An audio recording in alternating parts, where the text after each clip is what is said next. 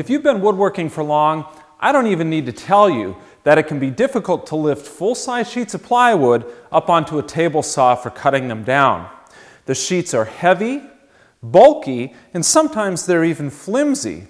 You have to steer the cut carefully on the infeed side, catch it on the outfeed side so that it doesn't fall off, all the while maintaining your own balance and watching the rip fence to make sure that your cut stays on course. So when I need to rip down full-size sheets of plywood like this, I don't even start at the table saw anymore. Instead, I break the big stuff down at the floor where gravity can work with me rather than against me. And in order to protect both my plywood and the floor, I use this 2-inch rigid foam insulation board that you can find at any home center in 4x8 sheets.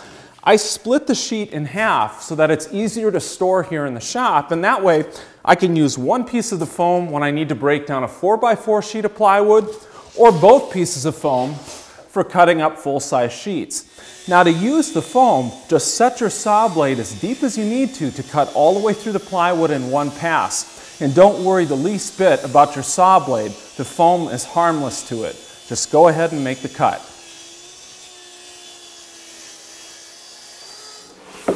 This rigid foam board works great for this purpose, and I really can't say enough good things about it.